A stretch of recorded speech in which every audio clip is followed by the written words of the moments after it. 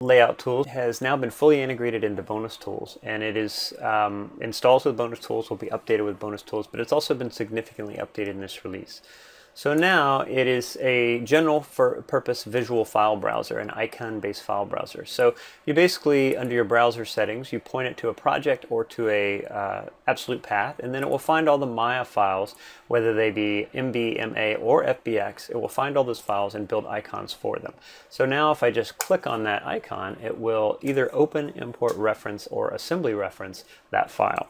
If you want to update the icons, you can basically go in here with the existing file, right click on the icon and just say create from current scene. That will give you a simple icon generation tool where I can go in and I can rebuild the icon to my liking. And then when I'm done, that icon gets stored near the file. There are various settings for that as well. So you can still use this as a, an, a scene assembly tool as well. So uh, I'll set this up so that I can actually do some importing.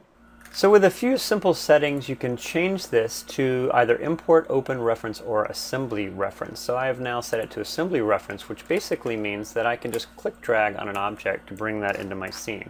So now when I'm bringing these objects in, I'm bringing an assembly reference, it automatically adds an option for uh, moving or placing the object within the scene. So I can take all these various parts and pieces and I can quickly click drag them into my scene and start to build kind of a modular uh, type uh, setup. So I'm not going to go into all the details here. I just wanted to point out for anybody that's used like layout tools in the past that it still has that functionality.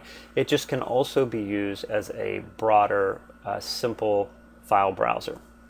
The transform tab basically has been uh, updated, used to be called the placement tab. This contains anything transform related, whether it be simple scale, rotate, or move, or whether it be advanced things like copying transforms, rotate, or mirroring transforms, randomizing transforms.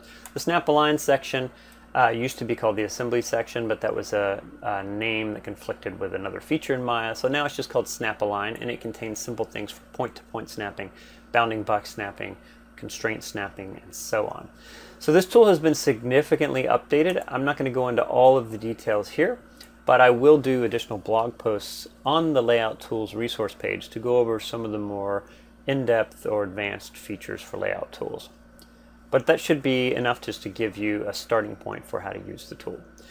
So that pretty much wraps up the overview of Bonus Tools 2015. I hope you guys uh, find it useful and uh, report any kind of problems or issues or suggestions on the, the resource page. Thanks for your time. Take care.